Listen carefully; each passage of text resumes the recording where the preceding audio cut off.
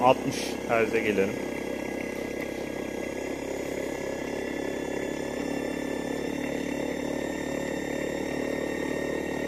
Tamam. Şu an 2250 RPM.